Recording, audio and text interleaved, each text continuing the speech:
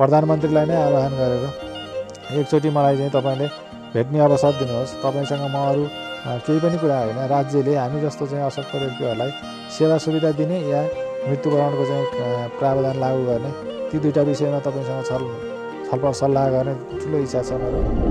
गाह्रो हुन्छ नि लेख्न गाह्रो हुन्छ। हामी सङ्घर्ष जीवन भनेकै सङ्घर्ष हो। मलाई सङ्घर्षसँग चाहिँ कुनै पनि होइन एउटा मनभित्र गुनासो हुँदैन। तर मैले आफूले गर्न खोजेको कामहरू गर्ने अवसरहरू नपाउँदाखेरि म सबभन्दा चिन्तित गुनासो रहेछ अब मेरै परिवेशलाई हेर्नुहुन्छ भने म तपाईँहरूकै अगाडि अब मेरो आफ्नो एउटा परिवेशलाई हेर्नुहोस् मेरो यो दुइटा हात चल्दैन मेरो औँलाहरूले ग्रिप गर्दैन होइन? तर पनि मसँग आफैले केही गरेर खान सक्छु म आफ्नो लागि आफै कमाएर खान सक्छु भन्ने मसँग हिम्मत छ। त्यो अवसर जुटाउने कसले त? मेरो परिवारले जुटाउन सक्थ्यो अथवा मैले जुटाउन सक्थेँ भने त मैले स्वयं जुटाइसक्यो हाल्थेँ। होइन? मैले आफूले जुटाउन सकिनँ मेरो परिवारले जुटाउन सकेन र त मैले राज्यसँग चाहिँ कुराहरू गरिरहेको छु। हामी जस्तो अवस्थामा भइसकेपछि हामी परिवारमा त हुनु हुन्छौँ। परिवारको सदस्यलाई भने हामी जब अशक्त छौँ भनेपछि उहाँहरूले परिवारको सदस्यले हामीलाई स्याहार्नु पनि धेरै मुस्किल हुन्छ। किनकि कहिल्यै पनि निको नहुने अथवा चाहिँ राम्रो नहुने अवस्थाको असहज अवस्थाको व्यक्ति घरमा छ भने उसलाई हेरेर बस्न भनेको परिवारलाई सजिलो हुँदैन। र परिवारले हेरेन भनेर दुःख मान्नु पनि हुँदैन। मेरो परिवार ठुलो पनि छैन। एउटा छोरी र श्रीमती म हो। उनीहरू यो घरमै बसौँ भन्ने जस्तो चाहिँ वातावरण जुट्यो भने पनि म यो घर पनि होइन अपाङ्गताकै क्षेत्रलाई हस्तान्तरण गर्न पनि म खुसी राजी भएर चाहिँ हस्तान्तरण गर्न चाहिँ म इच्छुक छु। खोज मिडियाको खोजी तपाईँहरूको साथ। नमस्कार म रजनी तामाङ। दर्शकवृन्द विभिन्न क्षेत्रसँग सम्बन्धित विभिन्न विषयवस्तुसँग सम्बन्धित भिडियोहरू तपाईँहरूको माझमा पस्काउने क्रममा आज खोज मिडिया परिवार तनहुँ जिल्लाको म्याग्दी गाउँपालिका वडा नम्बर सात समिधारानिर आइपुगेका छौँ। यहाँनिर हामीले एकजना दाईलाई भेट्यौँ जो दाई एकदमै पीडित हुनुहुन्छ। र उहाँ लामो समयदेखि बिस्तारमै लडिरहनु भएको छ। र उहाँले फेसबुकमा पनि आफ्नो पीडाहरू पोखाएर स्ट्याटस लामो लेख्नु भएको थियो। जुन स्ट्याटसले धेरैजनाको मन जित्न सफल पनि भएको छ र धेरैजनाले सेयर गरेर हामी म्याच पनि पुर्याइदिनु भयो त्यसको लागि यहाँहरूलाई पनि म धन्यवाद दिन चाहन्छु किनभने जो दाईको पीडालाई तपाईँहरूको माझमा देखाउन हामी सफल भएका छौँ आज। उहाँ हुनुहुन्छ दिपक भण्डारीज्यू आउनुहोस् उहाँलाई स्वागत गरौँ।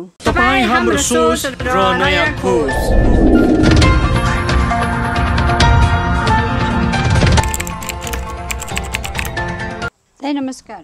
नमस्कार।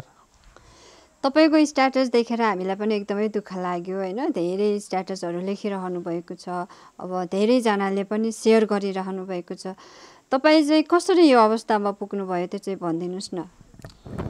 हजुर सबैजना दर्शकवृन्दहरूलाई मेरो तर्फबाट हृदयदेखिको नमन र यो जे कुराहरू पनि मैले व्यक्त गर्दैछु यी कुराहरूलाई ध्यान दिएर सुनिदिनु हुनेछ भने भन्ने आग्रहका साथ र यसलाई अगाडि बढाउनको लागि पनि पहल गर्नुहुनेछ आफ्नो क्षेत्रबाट भन्ने आशा राख्दै म आफ्नो जुन दुःख पीडा र यसबाट हरेक दुःखीहरूलाई बाहिर निकाल्ने उपायको बारेमा पनि तपाईँहरू समक्ष गर्नेछु। म दुई हजार छैसठी साल मेरो एउटा जीवन भोगाएको क्रममा दुई हजार छैसठी सालमा फागुनको महिना थियो। म आफन्तकोमा सानो एउटा कार्यक्रममा गएर फर्किँदाको क्रममा तनहुँको नै कोत्रे भन्ने ठाउँमा गाडी दुर्घटनामा सार्वजनिक यातायातमा दुर्घटनाग्रस्त भएँ म।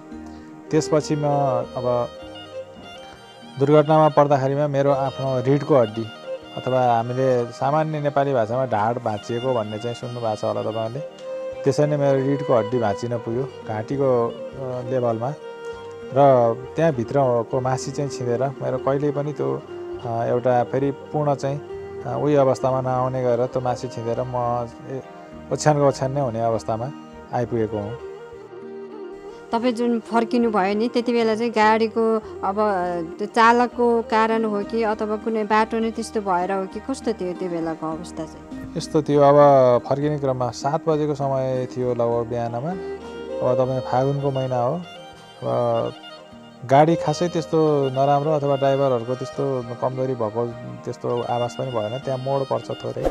सानो मोड छ त्यो मोडमा चाहिँ तपाईँको गाडीले पिच छोडेर ग्राभल भएको ठाउँतिर घेरेर गरेको चाहिँ सामान्य आवाज आएको थियो। अब गाडी अलिकति एउटा कन्ट्रोलबाट बाहिरियो कि भन्ने चाहिँ मनमा आवाज मात्रै भएको थियो। त्यो हुँदा हुँदै नै गाडी पल्टिन पुग्यो। त्यसपछि चाहिँ लगभग अब चेतविहीन अवस्थामा पुगेँ म चाहिँ। भनेपछि तपाईँ चाहिँ गाडी दुर्घटनामा यो अवस्थामा आइपुग्नु भयो। र तपाईँले फेसबुकमा पनि यति लामो स्ट्याटसहरू राख्नु भएको छ होइन? तपाईँले अब जीवन एउटा मृत्युको मुखमा पुगेको जस्तो अब म बाँच्दिनँ भनेको भन्नुभएको जस्तो एउटा स्ट्याटस लेख्नु भएको छ। त्यो चाहिँ किन लेख्नु भएको कसरी तपाईँलाई त्यो लेख्ने सोच आयो? म तपाईँको विगत बाह्र वर्ष फागुन दुई हजार छैसठी फागुनको पाँच गते यस्तो अवस्थामा पुगेँ। म उपचार क्रममा मणिपाल अनि नर्बिक अनि अन्नपूर्ण त्यसपछि बनेपाको चाहिँ spinal cord injury rehab centre अनि पोखराको हरियो खर्क हुँदै घरमा आइपुगेँ अन्त्यमा उपचार नहुने भनेर घरमा आइपुगेपछि। म सदाको लागि ओछ्यानमै सीमित रहेँ र मेरो परिवारले दुःख सुख मलाई होइन स्याहार्ने अनि बच्चा बच्चीलाई स्याहार्ने र आफ्नो घर गृहस्थी धानेर बसिरहेको अवस्था थियो। यस्तै क्रममा पनि मैले किनभने आफूले भोगेको पीडाले गर्दाखेरि यो पीडाहरूलाई सबैले जान्न पाउनुपर्छ सार्वजनिक गर्नुपर्छ भन्ने हिसाबमा। फेसबुकमा तपाईँको आफूले भोगेको पीडाहरू यस्तो पीडा छ यो पीडालाई चाहिँ सहज हुने खालको वातावरण बनाऊ। यो गर्ने भनेको कुनै व्यक्तिले अथवा एउटा सानो संस्थाले मात्रै गर्न सक्ने अवस्था हुँदैन। राज्यले नै यसलाई चाहिँ चासो दिनुपर्छ भनेर मैले पटक पटक आवाज निकालिरहन्थेँ। र ती कुराहरूलाई होइन कुनै पनि क्षेत्रबाट त्यति राम्रोसँग सुनवाई भएको अवस्था चाहिँ मैले पाइरहेको थिएन। त्यसै क्रममा मेरो यो गत वैशाखको तिन गते मेरो घरमा एउटा सानो पसल पनि थियो। त्यो पसलमा आगो लागि भयो र आगो लागेको क्रममा मेरो श्रीमती पनि आगोले क्षति हुन पुग्यो। उसलाई होइन एउटा शारीरिक रूपमा ठुलो क्षति पुग्यो। त्यसपछि ऊ हस्पिटलमा नै आयोसम्म पनि उसको हस्पिटल बसाइ नै छ। आज ऊ घर फर्किँदैछ काठमाडौँबाट। यो क्रममा मैले त्यसपछि आफ्नो जीवनमा मलाई आफूलाई हरेक कुराहरूमा सहारा दिनुपर्ने पोल्टो पोल्टो फेर्नदेखि लिएर दिसा पिसाब स्याहार्नदेखि लिएर खाना पानीसम्म खुवाउनको लागि सहाराको आवश्यक पर्ने। त्यो अवस्था चाहिँ मेरो हातबाटै लुटिएको अवस्था भएपछि मैले स्थानीय तहमा पटक पटक निवेदन पनि दिएँ। होइन आफूले गर्नुपर्ने गाउँलेहरूलाई गएर भन्न लगाएँ। उहाँहरू स्थानीय तहको म म चाहिँ म्याग्दी गाउँपालिका अ, तनहुँ जिल्लाको म्याग्दी गाउँपालिका वडा नम्बर सातमा बस्छु। मैले वडा मार्फत नै निवेदन दिएर पठाएँ अनि मेरो गाउँपालिका अध्यक्ष उपाध्यक्ष स्वयं उहाँहरू आएर मलाई नै देख्नुभयो। उहाँहरूसँग पनि मैले यो कुराहरूलाई अगाडि बढाउनु पऱ्यो राज्यको नियमावलीमा एउटा सिआरएको बन्दोबस्त गर्ने अति नै अशक्त भएको जसलाई सिआरएको आवश्यक पर्छ त्यस्तो व्यक्तिलाई सिआरएको व्यवस्था गर्ने भन्ने छ। र अन्य अपाङ्गता भएका जति पनि अपाङ्गता भएका व्यक्तिहरू पीडामा हुनुहुन्छ उहाँलाई स्वास्थ्य सेवादेखि लिएर अन्य अवसरहरू पनि आवश्यकता अनुसार दिलाउने भन्ने चाहिँ नियमावलीमा लेखेको छ। तपाईँहरू त्यही नियमावली अनुसारको चाहिँ सेवा सुविधा मेरो लागि पनि उपलब्ध गराइदिनुहोस् भनेर मैले स्थानीय तहमा पटक पटक भन्दाखेरि पनि उहाँहरूले आजसम्म पनि लगभग तपाईँको त्यो मात्रै शब्द भनेको मेरो लगभग नौ महिना बित्न आयो उहाँहरूले कुनै पनि किसिमको सेवा सुविधा र राहतको व्यवस्था चाहिँ मलाई गरिदिनु भएन। अनि त्यो कारणले गर्दाखेरिमा म यति निराश भएँ कि न आफ्नो होइन एउटा परिवारको सहारा पाउनु न राज्यबाट पाउने सुविधाहरू लेखिएको नियमावलीमा लेखिएको सुविधाहरू पाउनु न कुनै पनि अन्य क्षेत्रबाट चाहिँ ल यसको लागि हामी यसरी पहल गर्छौँ भन्ने खालको चाहिँ अवसर पाउनु। ती कारणले गर्दा म निराश हुन पुगेँ। होइन? त्यो निराशाको क्रममा अब मेरो उपाय के त? भन्दाखेरि मैले अनि बाहिर बाहिरी होइन विदेशहरूमा पनि मृत्यु चाहिँ इच्छा मृत्युको चाहिँ कुराहरू प्रसङ्ग निस्केको र स्विजरल्यान्डमा चाहिँ लागु पनि भइसकेको चाहिँ मैले जानकारी पाएको थिएँ। अनि त्यो कारणले गर्दा हाम्रोमा पनि त्यसो भने हामी जस्तो व्यक्तिहरूले तपाईँहरूले सुविधाहरू चाहिँ दिन सक्नुहुन्न भने राज्यबाट नै हामीले केही पाउँदैनौँ भने राज्यले नै हामीलाई मृत्युवरण गर्ने चाहिँ अवस्था सिर्जना गरिदिनुपर्छ भनेर मैले मृत्युवरणकै विषयमा मात्रै पनि एउटा लेख लेखेँ। त्यो लेख लेखेपछि पनि कमसेकम त्यो लेख पनि तपाईँको आठ दस सयजनाले मेरै वालबाट पनि सेयर भयो। मैले आफूले पनि विभिन्न ग्रुपहरूमा पनि त्यो पोस्टहरू गरेको थिएँ होइन धेरै साथीहरूले हेर्नुभयो र त्यहाँबाट पनि हो फेसबुकमै कमेन्टमा अथवा चाहिँ एउटा लाइक रियाक्टमा चाहिँ तपाईँको मायाको होइन दुःखको त्यस्ताहरू आए होइन कमेन्टहरू आए तर त्यसलाई पनि कुनै राम्रोसँग अलिकति यसलाई चासोको विषय बनाउनुपर्छ भन्ने चाहिँ सुनवाई नभएको कारणले अब मैले यतापट्टि स्थानीय तहबाट पनि कुनै पनि सुविधाको लागि पहल भएको अवस्था नपाउने अनि त्यो स्ट्याटसबाट पनि त्यस्तो नभएपछि मैले अनि फेरि प्रधानमन्त्रीलाई नै आह्वान गरेर एकचोटि मलाई चाहिँ तपाईँले भेट्ने अवसर दिनुहोस्। तपाईँसँग म अरू केही पनि कुरा होइन। राज्यले हामी जस्तो चाहिँ अशक्त व्यक्तिहरूलाई सेवा सुविधा दिने या मृत्युवरणको चाहिँ प्रावधान लागू गर्ने ती दुईवटा विषयमा तपाईँसँग छल छलफल सल्लाह गर्ने ठुलो इच्छा छ मेरो। यो मेरो लागि मात्रै होइन कि यस्तो अशक्त अवस्थामा भएका अपाङ्गता मात्रै नभई विभिन्न किसिमका चाहिँ अव्यवा व्यवहारिसी अवस्थामा पुगेका बा बालबालिका ब बच्चा बच्ची र वृद्ध अवस्थामा पुगेका घरबाटै घिडित हुनु पुगेका चाहिँ वृद्धहरूमा पनि यो अवस्था आउँछ। सबैलाई समेट्ने गरेर यो विषयमा कुरा गर्ने अवसर दिनुहोस् भनेर मैले एउटा स्ट्याटस हालेको थिएँ। धेरै साथीहरूले राज्य जवाबदेही हुनुपर्छ राज्यले वास्ता गर्नुहुन्छ भनेर गर्नुपर्छ भन्ने त्यसमा कमेन्ट पनि गर्नुभएको छ। र त्यसलाई चाहिँ लगभग तपाईँको बाह्र तेह्र सय सयजना साथीहरूले सेयर पनि गर्नुभएको छ। यो पक्कै पनि आवश्यकता छ यो विषयमा चासो लिनुपर्छ भन्ने हिसाबले नै उहाँले सेयर गर्नुभएको होला। नत्र कुनै पनि एकजना व्यक्तिले बोलेका कुराहरूलाई होइन कसैले पनि सेयर गर्ने भन्ने त्यति चासोको विषय हुँदैन। जुन कुराहरू चाहिँ अत्यावश्यक ठहर्न मान्छेको मनमा लाग्छ तिनै कुराहरूलाई चाहिँ हामीले पनि फैलाउन भन्ने चाहिँ सोच मान्छेहरूमा जाएको हुन्छ। होइन त्यही कारणले गर्दा आज तपाईँहरूसँग होइन यो मिडियासँग खोज मिडियासँग जोडिने सौभाग्य पनि मिल्यो। र यहाँबाट पक्कै पनि धेरै साथीहरूले यो विषयलाई सुन्नुहुनेछ बुझ्नुहुनेछ र यसको चाहिँ अपरिहार्यता कतिको छ आवश्यकता कतिको छ भन्ने विषयलाई ध्यानमा दिएर राज्य स्तरलाई सक्दासम्म राज्यलाई नै सबै क्षेत्रमा चाहिँ यो विषयलाई चाहिँ चासो दिने बनाउने नभए भने कुनै एउटा सानो क्षेत्रबाट भए पनि हामीले यो चाहिँ अत्यावश्यक विषय हो है। उदाहरणको लागि पनि हामीले यो काम गर्नुपर्छ भन्ने विषयमा चाहिँ सबैको ध्यान जानेछ ध्यान आकर्षण हुनेछ भन्ने हिसाबले चाहिँ मैले यो आफ्नो यथार्थ शब्द तपाईँहरूमा पोख्ने अवसर उहाँले जिताइदिनु भएर तपाईँहरूमा पोखिरहेको छु। र मैले त्यसपछि जुन उहाँ प्रधानमन्त्रीसँग मैले भेट्ने अवसर पाऊँ भनेर चाहिँ लेखिसकेपछि पनि मैले किन त अवसर पाएर के हुन्छ कसरी गर्न सकिन्छ भन्ने कुरामा पनि हिजो मात्रै एउटा पोस्ट चाहिँ धेरै लामो पोस्ट छ मैले त्यो सेयर पनि गरेको छु। आफ्नो हालबाट हालेको छु। त्यहाँ मैले के भनेको छु भन्दा हो हाम्रो अवस्थामा यति यो पीडाको अवस्थामा मान्छे कसैलाई पनि आउने रहर हुँदैन। जीवन सङ्घर्ष हो जीवन चल्ने क्रममा होइन विभिन्न परिवेशहरू आफ्नो जीवनको दौडानमा आइपुग्छ। यो पाइला मैले राम्रो हिँड्दैछु भने एकछिन परे पछिको पाइलामा मलाई के हुन्छ कहिले पनि कसैलाई पनि थाहा भएको अवस्था हुन्न। म पनि त्यही घटनामा जीवनको बत्तिसौँ वर्ष मैले गुजारिसकेको थिएँ। जब बत्तिसौँ वर्षको अवस्थामा म पनि हाँसी खुसी नै कुनै ठाउँमा गएर एउटा रमाइलो प्रोग्राममा होइन चाडपर्वमा गएर फर्किँदाको अवस्थामा मैले यो अवस्था भोग्न बाध्य भएको हुँ। त्यसैले सबैले कठिन अवस्था अथवा असहजताको अवस्थालाई के हो त यो अवस्था भनेर बुझ्ने प्रयास सबैले गरिदिनुहोस् भन्ने विषयमा लेखेको छु। र हामी जस्तो अवस्थामा भइसकेपछि हामी परिवारमा त हुनु हुन्छौँ। परिवारको सदस्यलाई पनि हामी जब अशक्त छौँ भनेपछि उहाँहरूले परिवारको सदस्यले हामीलाई स्याहार्नु पनि धेरै मुस्किल हुन्छ। किनकि कहिल्यै पनि निको नहुने अथवा चाहिँ राम्रो नहुने अवस्थाको असहज अवस्थाको व्यक्ति घरमा छ भने उसलाई हेरेर बस्न भनेको परिवारलाई सजिलो हुँदैन र परिवारले हेरेन भनेर दुःख मान्नु पनि हुँदैन। किनकि आफू पहिला परिवारले पनि आफू बाँच्नुपर्छ त्यसपछि मात्रै दुःखमा भएको व्यक्तिलाई बचाउन सक्ने अथवा स्याहार सुसार गरेर बस्न सक्ने अवस्था सिर्जना हुन्छ। सबै परिवारमा हाम्रो नेपालकै अवस्थामा हेर्दा सबै परिवारमा त्यो क्षमता भएको परिवार सबैजना छैन। आर्थिक स्रोतले धेरै कठिनाइहरू छन् होइन? भौतिक स्रोत स्रोतमा पनि कठिनाइहरू छन् तपाईँको स्वास्थ्य क्षेत्रका पनि कठिनाइहरू धेरै छन्। यी कुराहरूलाई पनि मैले त्यहाँ व्यक्त गरेको छु। त्यसैले परिवारले हेरेन अथवा परिवारले हेर्नुपर्छ भन्ने कुरालाई पनि कसैले पनि नसोचिदिनु होला। त्यो एउटा बाध्यात्मक परिस्थिति हो तर सम्भावना छैन। यसलाई पनि एकदम अन्तर्हृदयबाट बुझ्न आवश्यक छ। त्यो परिस्थिति भइसकेपछि मैले अनि हामी जस्तै अवस्थामा भएका व्यक्तिहरूलाई कसरी चाहिँ सहजतामा पुर्याउन सकिन्छ त भन्ने प्रसङ्गलाई जोडेर लेखेको छु। के छ त भन्दा हामी जस्तै अवस्थामा भएका हामी किनभने दुर्घटना हुँदैमा फेरि सबैजना मै यहीँ लडेरै सुतेरै मात्रै बस्नुपर्ने अवस्थामा पुगिन्छ भन्ने पनि छैन। थोरै मात्र क्षति पनि हुनसक्छ र धेरै असहज अवस्थामा पुग्ने क्षति पनि हुनसक्छ।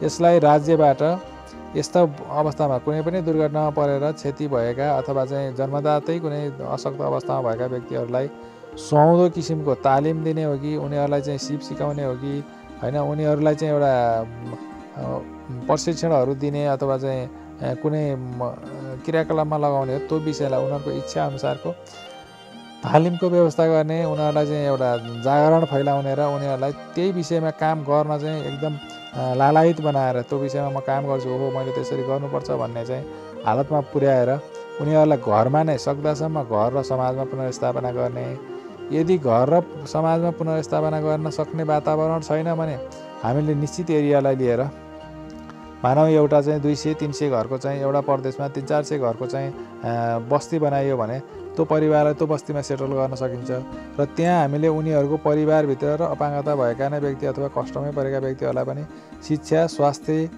जस्ता चाहिँ आधारभूत सुविधाहरू उपलब्ध गराउनको लागि त्यस्तो सामूहिक बस्ती भयो भने हामीलाई एउटा खर्च गर्ने क्रममा पनि धेरै सहज हुन्छ राज्यलाई पनि एउटा भार कम हुन्छ। यदि ल सामूहिक बस्तीमै हामीले व्यवस्थापन गर्न सक्ने अवस्था रहेन उनीहरू सामूहिक बस्तीमा पनि राख्दाखेरिमा चाहिँ सन्तुष्ट हुने अवस्था छैन अथवा स्याहार पाउने अवस्था छैन भने भवन बनाएर एउटा भवनमा दुई सय तिन सय चार सय पाँच सय कतिजना रहने भवन बनाउने हो त। कस्ता किसिमका व्यक्तिहरूलाई कस्तो किसिमको चाहिँ सुविधाको आवश्यकता पर्छ त? भनेर त्यो कुरालाई मूल्याङ्कन गरेर त्यस्ता भवनहरू निर्माण गरेर उनीहरूलाई त्यहाँ राख्ने व्यवस्था गरियो भने राज्यले गर्नुपर्ने सेवा सुविधाको लागि गर्नुपर्ने खर्चमा पनि कटौती हुन्छ र पीडितले पाउने सुविधामा पनि धेरै नै अग्रपङ्क्तिमा पुग्ने अवस्था आउँछ। अब मेरै परिवेशलाई हेर्नुहुन्छ भने म तपाईँहरूकै अगाडि अब मेरो आफ्नो एउटा परिवेशलाई हेर्नुहोस् मेरो यो दुइटा हात चल्दैन मेरो औँलाहरूले ग्रिप गर्दैन होइन? तर पनि मसँग आफैले केही गरेर खान सक्छु म आफ्नोलाई आफै कमाएर खान सक्छु भन्ने मसँग हिम्मत छ। त्यो अवसर जुटाउने कसले त? मेरो परिवारले जुटाउन सक्थ्यो अथवा मैले जुटाउन सक्थेँ भने त मैले स्वयं जुटाइसक अ, हाल्थेँ होइन? मैले आफूले जुटाउन सकिनँ मेरो परिवारले जुटाउन सकेन र त मैले राज्यसँग चाहिँ कुराहरू गरिरहेको छु। राज्यले यो अवस्थामा के गर्नु त पर्यो त भन्दा मसँग भएको दक्षता के हो? मसँग भएको ज्ञान के हो? र मेरो चाहना के हो? यसलाई राज्यले बुझ्ने प्रयास गरिदिनु पर्यो। र यो अनुसारको मेरो चाहना अनुसारको अवसर मलाई जुटाएर मेरो चाहना अनुरूपको काम राज्यले लिएर त्योबाट राज्यले आम्दानी लिनु पर्यो र त्यो आम्दानीबाट मलाई चाहिँ स्याहार सुसार गर्ने अवस्था राज्यले सिर्जना पर्यो। यो कुरा मैले भनिरहँदाखेरि मैले धेरै स्ट्याटसहरू लेखेर यस विषयमा हालिरहँदाखेरिमा मलाई सान्त्वनाको हेतुले कतिपय साथी साथीहरूले भन्नुहुन्छ कि स्टेफिन हकिङ भन्ने व्यक्तिको उदाहरण दिनुहुन्छ। हो उसले खगोलको विषयमा धेरै कुराहरू पत्ता लगाएको थियो। ल हेर्नुहोस्। उसलाई यदि अवसर नपाएको भए उसलाई चाहिँ म झैँ नै एउटा ओछ्यानमा मात्रै सुतेर बसिरहनु भएको भए उसले खगोलको विषयमा कुनै अध्ययन गरेर त्यो विषयमा केही बोल्ने अवसर पाउँथ्यो होला? पक्कै पनि पाउँथेन। हामीले उदाहरण दिँदा त्यसरी दिउँ तिमीलाई अवसर कस्तो चाहियो त? उसले निराश भएको व्यक्तिलाई तिमीलाई अवसर के चाहियो भन हामी निराश हुन दिन्नौँ तिमीलाई अवसर जुठाउँछौँ। तिमी पनि फलानु व्यक्ति जस्तो ऊ व्यक्तिले यस्तो गरेको थियो नि त्यो व्यक्तिले जस्तो गर्नुपर्छ। तिमी पनि केही गर्छु भनेर हिम्मत बटुला। भन्ने खालको आश्वासन हामीलाई र अवसर पनि सँगै आयो भने हामी कमजोर छैनौँ। जति पनि सक्षम व्यक्तिहरूले गर्न सक्नुहुन्छ उहाँहरूले शारीरिक रूपमा गर्न सक्नुहुन्छ भने हामी बौद्धिक अथवा मानव कुन रूपबाट सकिन्छ हामीले सक्ने रूपबाट हामी पनि गर्न सक्षम छौँ। हामी असक्षम होइनौँ कि हामीलाई अवस्थाले गर्दाखेरिमा अवसरबाट वञ्चित गरायो। राज्यबाट यो अवसरहरू प्राप्त हुनेछ अबका दिनमा। सबैलाई एक्लै होइन कि एउटा कुनै पनि व्यक्तिलाई एउटा बोलेको आधारमा अथवा उसको चाहिँ कुराको आधारमा एक व्यक्तिलाई होइन कि अवसरबाट वञ्चित भएका अशक्त भएका अथवा पीडामा को भुमरीमा परेका सम्पूर्ण व्यक्तिहरूलाई अवसर प्राप्त राज्यबाट हुनेछ भन्ने आशा राख्दछु। तपाईँले चाहिँ तपाईँको यो हात राम्रोसँग चलेको छैन होइन? कसरी लेख्नुहुन्छ तपाईँले स्ट्याटस लेख्ने बेलामा चाहिँ? यो तपाईँको म जब देब्रेतिर कोल्टो हुन्छु देब्रेतिर कोल्टो हुँदाखेरिमा हेरियो यो कान्छी औँलाको सहाराले मैले स्क्रिनमा यसरी टच गराएर लेखेको हुन्छु। अनि यता दाहिनातिर हुँदाखेरिमा मेरो यो हातले चाहिँ मैले त्यसरी पनि लेख्न सक्दिनँ। उत्तानो अवस्थामा हुँदाखेरिमा चाहिँ मेरो यो अब तपाईँहरूले यसरी हेर्नुहोस् होइन यो यो जुन यसरी मुठी परेको छ नि अवस्था छ नि यो हातको योमा चाहिँ के गर्न मिल्छ भने तपाईँको अब म मोबाइल यस्तो अवस्थामा हुन्छ अनि मैले होइन मैला नै गर्न दिनु। यो अवस्थामा हुन्छ अनि हेरियो यो जुन यो मुठी परेको ठाउँमा मैले मोबाइललाई यसरी कोच्ने हो कि? मुठीभित्र यसरी अड्काउँछु होइन। यो अड्काइ अड्काइसकेपछि अब मैले यसरी आफूतिर यसरी फर्काउँछु होइन। यो कुमको बलले चाहिँ मैले अनि यो हातलाई यसरी अगाडि पछाडि गर्न सक्छु कि? यो यो अवस्थामा यसरी हो भने तपाईँ यसरी लाने छाउने यसरी चाहिँ लेख्ने यो कामहरू यसरी गरेको हुन्छ। धेरै गाह्रो हुन्छ नि त त्यसरी। त्यो लेख्न गाह्रो हुन्छ। होइन सङ्घर्ष जीवन भनेकै सङ्घर्ष हो। मलाई सङ्घर्षसँग चाहिँ कुनै पनि होइन एउटा मनभित्र गुनासो हुँदैन। तर मैले आफूले गर्न खोजेको कामहरू गर्ने अवसरहरू नपाउँदाखेरिमा म सबभन्दा चिन्तित र गुनासो चाहिँ त्यसमा हो। तपाईँले जुन स्थानीय तहमा पहल गर्नुभयो नि तपाईँको सहयोगको लागि उहाँहरूले चाहिँ कस्तो सुझाव दिनुभएको थियो त्यति बेला? उहाँहरूले होइन मैले जब चाहिँ उपाध्यक्ष स्थानीय तहको उपाध्यक्ष स्वयं नै यहाँ आउँदाखेरिमा मैले होइन तपाईँहरू प्रोसेसमा गर्नुहोस्। हाम्रो स्थानीय तहबाट माथि चाहिँ केन्द्रसम्म लगेर माग्ने हो। यो कुरालाई अगाडि बढाउँ। एउटा आवास दस बिसजनाको मात्रै भए पनि आवास सुरु गरौँ। भन्दाखेरिमा उहाँले के गर्नु भने माथिबाट चाहिँ कुनै पनि अब तोकेर लकाम गर भनेर आएको छैन भन्ने कुरा गर्नुभयो। मैले पहल गर्नु न पहल भनेको त स्थानीय तहले गर्ने हो। अगाडि पुर्याइदिनुहोस्। नियमावलीमा लेखेको छ मैले नभएको कुरा मागेको पनि होइन। नियमावलीमा भएकै कुराहरू माग्दाखेरिमा पनि तपाईँले किन यस्तो गर्नुहुन्छ भन्दा उहाँले बरु होइन केही सपोर्ट हुन्छ भनेर उहाँले उहाँले आफ्नो पर्सनली रूपमा दस हजार रुपियाँ छोडेर जानुभयो बरु होइन। तर उहाँले यो क्षेत्रलाई होइन यसलाई कसरी अगाडि बढाउने भन्ने कुरामा कुनै पनि किसिमको पहल गर्नु भएन। होइन मैले कोही आउनु भएको छ कि छैन तपाईँलाई हेर्नलाई आउनु भएन त्यसपछि उहाँहरू अब फर्केर आउनु भएको पनि छैन होइन। मैले पटक पटक फोनमा नै उहाँलाई कुरा गरिराखेको छु। अनि अहिले अन्तिम पटक चाहिँ मैले अब सेवा सुविधा पाइनँ मुद्दा नै हाल्छु भनेर भने उहाँहरू भाटामा एकजनालाई गाउँलेलाई भनेर पठाएको थिएँ।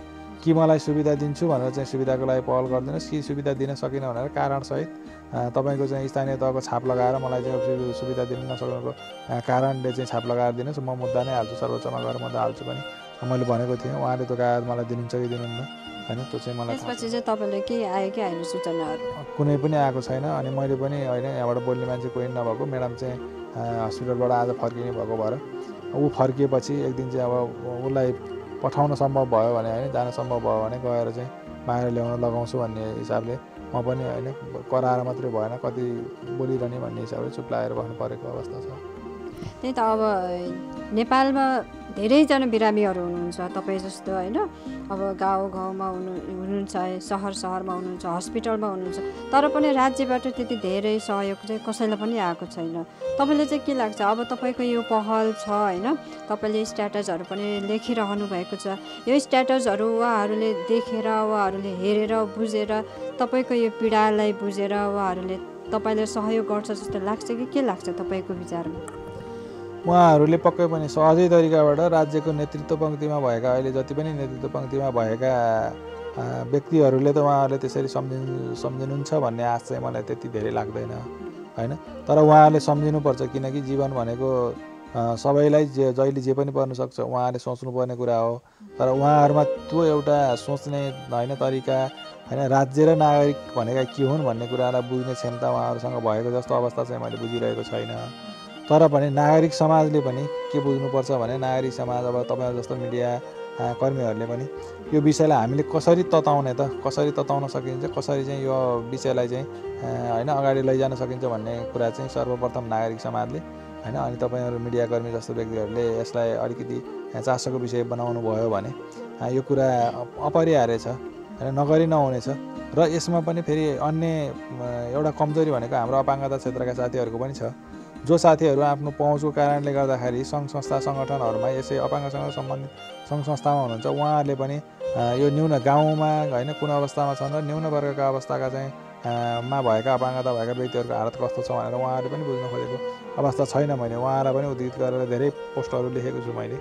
होइन त्यो अवस्थाको कारणले पनि हो यदि हामी कुनै पनि अब एउटा कोटा अथवा चाहिँ वर्गीय रूपबाट त्यो ठाउँको पदमा पुग्छौँ भने त्यो वर्गका चाहिँ व्यक्तिहरू अन्त्य अवस्थामा एकदमै तल्लो निकायसम्म भएका व्यक्तिहरू कस्तो अवस्थामा छन् त? तिनीहरूको बारेमा डाटा सङ्कलन गरेर उनीहरूको लाई आवश्यकता परेका कुराहरू सरकार समक्ष लिएर जान चाहिँ लिएर जाने दायित्व उहाँहरूको हो। उहाँहरूले पनि यी यथार्थ कुराहरू त्यहाँसम्म नपुर्याइरहेको अवस्था पनि छ होइन? त्यो कारणले गर्दा पनि गर्दाखेरि पनि तपाईँको अलिकति यो कुरामा बाधा अर्चना आएको चाहिँ त्यो पनि हो। के छ त भने तपाईँको मैले पटक पटक कुरा गर्दाखेरिमा हामीले यहाँ हाम्रै अपाङ्गता भएका साथीहरूले बाहिरी देशसँग गर्ने सम्झौतामा चाहिँ के भनेको छ भने तपाईँको सामूहिक आवासमा व्यक्तिहरूलाई राख्ने होइन भन्ने खालको चाहिँ सम्झौतामा पनि हस्ताक्षर गर्न पुग्नु भएको छ। त्यस्तोमा हस्ताक्षर किन गर्ने त? हाम्रो देशको अवस्था कस्तो छ? हाम्रो देशको अवस्था अनुसार पो हामीले चाहिँ सन्धि सम्झौतामा हस्ताक्षर गर्ने हो त। होइन हाम्रो खुबी भनेको व्यक्ति व्यक्तिलाई सुविधा सम्पन्न बनाउने सुविधा उपलब्ध गराउन सक्ने। खुबी छैन भने हामीले सामूहिक रूपमा चाहिँ सेवा सुविधा उपलब्ध गराउन आवश्यक छ नि त। त्यो विचार त्यो कुरालाई विचार गर्नु चाहिँ उहाँहरूले छोड्नुभयो। उहाँहरू दुई दिनका चाहिँ मिटिङ होइन अब आफू पुग्नु पाउने ठाउँमा चाहिँ सन्धि सम्झौतामा हस्ताक्षर गर्ने कुरामा चाहिँ तात्नु भयो क्या। यो एकदमै उहाँहरूको गलत हो। तपाईँको यही अवस्थाको कुरा गर्ने जापान अस्ट्रेलियाको कुरा गरौँ भने व्यक्ति व्यक्तिलाई फाइभ स्टारभन्दा चाहिँ राम्रो परिवेशका चाहिँ होटल जस्ता स्थानहरूमा व्यक्ति व्यक्तिलाई एकजना व्यक्तिको सुविधा दिएर राख्छ। तर हाम्रो देशको आर्थिक अवस्था त छैन होला नि त। र त्यो कारणले गर्दा हामीले दसजना व्यक्तिलाई एकजनाले स्याहार्ने चाहिँ संरचना निर्माण गर्नुपर्छ भन्ने खालको चाहिँ नीति निकाल्ने हो हामीले। बाहिरको नीतिलाई हामीले अवलम्बन गर्ने होइन कि। हाम्रो भूगोल अवस्था होइन सामाजिक अवस्था आर्थिक अवस्था अनुसारको नीति हामीले बनाउने हो। त्यो कुरामा चासो दिनुपर्छ त्यसको लागि होइन आफ्नो एउटा सोच हुनुपर्छ। होइन त्यो सोच नभएको कारणले पनि हो। मैले त्यसैले भनिरहेको हुन्छु। हामी स्वयं छौँ। ल मानिलिनुहोस्। दुई खुट्टाले हिँड्न सक्दैन दुईवटा हात चलाउन सक्छ भने त्यो व्यक्तिलाई अर्को कुनै एउटा व्यक्तिले सालको पात टिपेर ल्याएर आएर चाहिँ सिन्का काटेर ल्याएर दियो भने उसले टपरी बुन्न सक्छ। उसले कपास ल्याएर दियो भने धागो काट्न सक्छ। उसलाई तपाईँको कपडा र सियो धागो ल्याएर दियो भने कपडाहरू सिउन सक्छ गुडिया बनाउन सक्छ भने उसलाई हामीले काममा व्यस्त बनाइएर उसलाई सुहाउने अनुसारको काम दियो भने होइन उसले पनि आम्दानी गर्ने सक् गर्ने अवस्था पाउन सक्छ। अब यहाँ के हुन्छ त भन्दा अपाङ्गता भएको व्यक्तिले केही कुराहरू उब्जायो भन्ने बित्तिकै यसले माग्न लाग्यो भन्ने कुराले सोचिन्छ कि? होइन? माग्न लागेको होइन हामीले गर्न सक्छौँ हामीलाई अवसर देऊ भन्न खोजेको हो। भन्ने हिसाबबाट सबैले राज्यलेदेखि लिएर नागरिक समाजदेखि लिएर हरेक अभियानमा लागेका अभियन्ताहरूदेखि लिएर सबैले त्यो तरिकाले सोच्नुभयो भने पक्कै पनि योलाई एकदमै सहज तरिकाबाट चाहिँ हामीले पार लगाउन सक्छौँ। र यसैमा मैले अर्को कुरा पनि के जोड्न चाहेँ भने विभिन्न अभियानका नाममा अभियन्ताहरूले दुखीहरूलाई फन्ड कलेक्सन गरेर दुखीहरूको हातमा अथवा दुखीहरूको परिवारलाई दिएको पनि धेरै रेकर्डहरू छन् है हामीसँग। यो कुराहरूलाई पनि कसरी परिमार्जन गर्न गरौँ भन्न चाहन्छु भने म हाम्रोमा धेरै किसिमका बिमारीहरू छौँ अथवा धेरै किसिमका अशक्तहरू छौँ। म मानौँ म एउटा खानै नपाइकन बसेको चाहिँ एउटा त्यो परिवारको छु भने मैले परिवारमा लगेर लाख दुई लाख तिन लाख सहयोग गर्ने होइन। के गर्ने त भन्दा त्यस्तो परिवार छ भने त्यो परिवारलाई उद्यमशीलतामा खडा गर्ने कि त्यो तिन लाख चार लाख पाँच लाख खर्च गर्नेले अर्को दस लाख रुपियाँ पुर्याएर चारवटा परिवारलाई चाहिँ एकदम व्यावसायिक रूपमा चाहिँ आश्रित बनाउने कि? होइन? हामीले उपचारको लागि भनेर म यस्तो अवस्थामा छु मलाई उपचार खर्च भनेर मलाई पैसाको उपचार खर्च भन्दा पनि मलाई एउटा त तपाईँको सिआरएको आवश्यकता छ। दोस्रो भनेको उपचार त पर्छ। उपचार भनेको मलाई चाहिने उपचार पनि चाहिने व्यक्ति अरूहरू पनि छन् भने मलाई गर्ने खर्च मलाई पैसा ल्याएर दियो भने मैले मासेको हुन्छ अथवा मेरो परिवारले आफ्नो सहरमा मासेको हुनसक्छ। होइन? मैले मात्रै अब त्यो जुन दुःखमा छ त्यो व्यक्तिले मात्रै मासेको छ भन्ने हुँदैन कि? होइन? परिवारले पनि खर्च गरिदिएको हुनसक्छ। त्यो अवस्था आउन नदिनको लागि उपचारको लागि हामीले छुट्टै एउटा स्थानीय उपचार गर्ने स्वास्थ्य नै बनाऊँ। स्वास्थ्य संस्था नै बनाऊँ। त्यहाँ जुन अशक्त अवस्थामा भएका अथवा यस्ता बिरामीहरू छन् हामीले फन्ड जम्मा गरेर राखेको छ। सम्भव भएसम्म त्यो फन्डबाट नभए राज्यलाई चाहिँ तिमीले यति हाल्नुपर्छ यो यो अस्पतालको लागि यति हाल्नुपर्छ भनौँ। त्यहाँ लगेर उपचारको चाहिँ व्यवस्था गरौँ होइन त्यो गरौँ। अनि त्यसपछि उद्यम अब सम्पूर्ण व्यक्तिहरूलाई समेटेर एउटा उद्यम। अब यो मान्छेलाई गरी खानु केही छैन। भ- आजलाई मानौँ न मसँग केही पनि छैन। मलाई भरे खाने चामल छैन भने मलाई दुई बोरा चामल होइन कि? मैले दुई बोरा चामल आज भयो त मैले दुई महिना खान्छु सकिन्छ। तर मेरो लागि त बाँचुन्जेलसम्म खानु परेको छ नि त।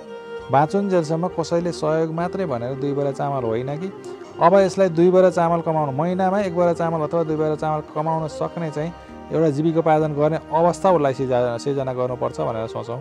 होइन अभियन्ता साथीहरूले पनि यसरी सोचेर अगाडि बढ्यौँ भने होइन त्यसको लागि हामीले एकजनाले मात्रै छलफल गरेर हुँदैन। हामी साथीहरू सँगै बसौँ। सँगै बसौँ योजना बनाऊँ कुन योजना चाहिँ सबैजनाको चित्त बुद्ध तरिकाबाट हुन्छ कुन योजना अगाडि लैजाँदाखेरिमा आर्थिक भार पनि कम हुन्छ। होइन कसरी अगाडि बढ्न सकिन्छ यो किसिमबाट सोचेर एउटा सुनियोजित परि परिवेशबाट बाट नै त्यहाँ स्वास्थ्य पनि होस् शिक्षा पनि होस् उद्यमशीलता पनि होस् होइन?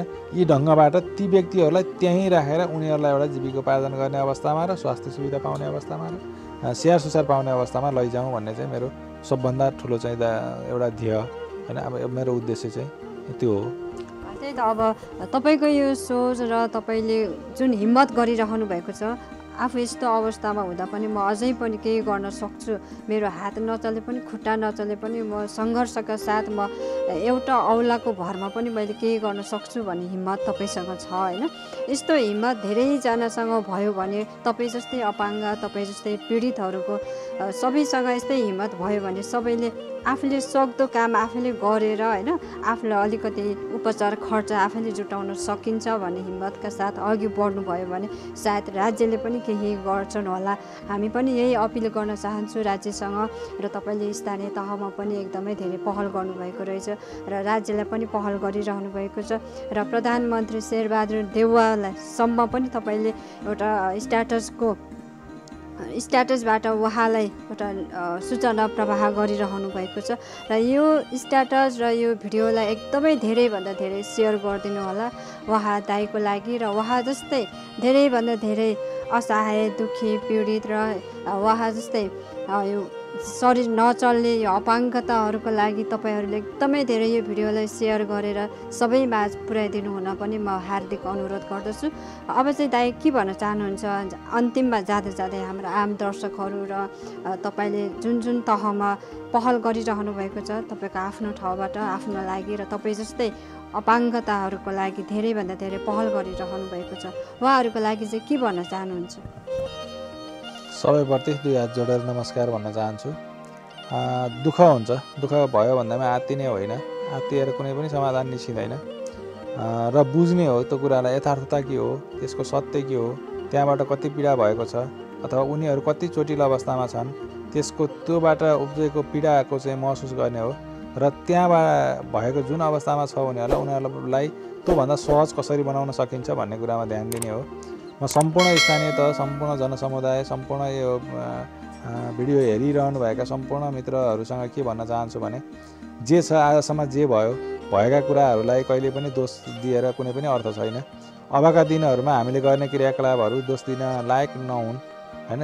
हरेक समाजले हरेक व्यक्तिले ओहो भनेर चाहिँ सम्मान गर्न लायक होस्। यसको लागि सबैजनाले पहल गरिदिनु होला। र हरेक स्थानीय तहले पनि किनभने स्थानीय तह भनेकै हाम्रो सबैभन्दा पहिलो सरकार हो अहिलेको परिवेशमा। स्थानीय तहले आफ्ना स्थानीय क्षेत्रभित्र भएका चाहिँ हरेक व्यक्तिहरूलाई देख्न चिन्न जान्न कुन अवस्थामा छ भनेर मूल्याङ्कन गर्न पनि सहज छ। उनीहरूलाई जस्तो किसिमको चाहिँ आवश्यकता होइन सहजताको आवश्यकता छ। त्योलाई खर्च हुन्छ भनेर नडराउनुहोस्। खर्च हुँदैन। होइन आफ्नो स्थानीय तहमा यस्ता यस्ता व्यक्ति छन् भनेर तपाईँहरूले राज्यको चाहिँ माथिल्लो केन्द्रीय तहसँग माग गरिदिनु भयो भने माथिल्लो केन्द्रीय तह चाहिँ बाध्य भएर तपाईँको उनीहरूको लागि सहजतासँगै उनीहरूबाट पनि हामीले के लिन सक्छौँ त भन्ने अवस्थामा उनीहरूले नै सोच्न बाध्य हुन्छन्। किनकि दिँदाखेरिमा दिँदा मात्रै जाँदा खर्च गएको देखिन्छ भने उनीहरूबाटै हामीले अब केही लिनुपर्ने अवस्था छ नत्र दिएर मात्रै सकिन्न भन्ने सोच त्यहाँ पनि पलाउँछ। होइन? त्यो कारणले गर्दाखेरि सहजता दिँदा होइन? अर्को नयाँ सोचहरू पनि वृद्धि हुन्छ। सबै सबै चाहिँ मित्रहरूसँग म एउटा सानो आह्वान के गर्न चाहेँ भने किनकि राज्यलाई मैले धेरैचोटि चाहिँ आह्वान गरेँ होइन? यो यस्तो आवासीय अथवा चाहिँ उद्यमशील ठाउँहरू चाहिन्छ भने धेरै चाहिँ आग्रह गरेको छु। र मैले मेरो आफ्नै सोचमा पनि एउटा स्थान चाहिँ राज्यले नै सुरु गरेन भने पनि एउटा आवासीय तवरको चाहिँ एउटा भवन बनाएर सानो नै किन नहोस् बिस पच्चिसजना पचासजनासम्मकै बस्न लायक भवन बनाएर त्यहाँभित्र नै उद्यम सञ्चालन गरेर केही अपाङ्गता भएका व्यक्तिहरू राखेर उद्यम गरेर आम्दानी गरेर नै राज्यलाई एउटा उदाहरणीय क्षेत्र बनाउने चाहिँ मेरो बहुत ठुलो धोको पनि छ। त्यसको लागि मैले होइन जमिन म आफ्नै मेरै मेरो जमिन म यहाँ जहाँ बसिराखेको छु। यही जमिन पनि उपलब्ध गराउँछु। दस बिसजना बस्न त मेरो अहिले भइरहेको घरमा पनि यहाँ बस्न सकिन्छ। मेरो परिवार ठुलो पनि छैन। एउटा छोरी र श्रीमती म हो। उनीहरू यो घरमै बसौँ भन्ने जस्तो चाहिँ वातावरण जुट्यो भने पनि म यो घर पनि होइन अपाङ्गताकै क्षेत्रलाई हस्तान्तरण गर्न पनि म खुसी राजी भएर चाहिँ हस्तान्तरण गर्न चाहिँ म इच्छुक छु। होइन उनीहरूलाई चाहिँ अब दुईवटा कोठा उनीहरूलाई छुट्टै अर्को निर्माण गरिदियौँ भने होइन यो घरमा कमसेकम तपाईँको बिसदेखि तिसजना बस्न सक्ने अवस्था सिर्जना हुन्छ। यसको लागि पनि तपाईँहरू सम्पूर्ण होइन सहयोगी मन अब शुभ चि- चिन्तक साथीहरू यदि हुनुभयो र होइन ल त्यसरी गरौँ न त। दुईवटा कोठा चाहिँ अब यो भाइको चाहिँ बहिनीलाई अथवा छोरीलाई राख्ने ठाउँ चाहिँ निर्माण गरौँ अनि यो घर चाहिँ त्यो क्षेत्रको लागि समर्पित गर्छु भाइले भनेको छ। समर्पण गर्न भाइलाई भनौँ अनि यो क्षेत्र यहाँबाट चाहिँ सुरुवात गरौँ भन्ने चाहिँ तपाईँहरूको मनसाय भयो भने विभिन्न अभियन्ता साथीहरू अथवा सहयोगी साथीहरू चाहिँ मसँग जोडिदिनु हुन अथवा चाहिँ हाम्रो मिडियासँग जोडिएर चाहिँ यो कार्यमा चाहिँ सहकार्य गरिदिनु हुन हजुरहरूसँग विनम्र अनुरोधका साथ हृदयदेखि आग्रह गर्दछु। उहाँले भनिसक्नु भएको छ त उहाँले यो आफू बसेको गृह आफू बसेको घर पनि उहाँले दुःखी पीडितहरू र उहाँ जस्तै अपाङ्गताहरूको लागि सहयोग गर्ने र उहाँहरूको लागि एउटा बस्ने गृह बनाउन दिन्छु भनेर उहाँले भनिसक्नु भएको छ। र तपाईँहरूले पनि यो भिडियोलाई धेरैभन्दा धेरै सेयर गरेर सबै माझ पुर्याइदिनु होला र उहाँको यो उद्देश्यलाई उहाँको जुन सोच रहेको छ पक्कै पनि हाम्रो स्थानीय तह र राज्यले बुझेर र उहाँको उद्देश्यलाई पुरा गरिदिनु हुनेछ भन्ने मलाई आशा जागेको छ र यो आशालाई पनि तपाईँहरूले पक्कै पनि निराशा नबनाइकन उहाँलाई सहयोग गरिदिनु हुनेछ भन्दै आज पनि तपाईँहरूको माझबाट बिदा हुन्छु। नमस्कार।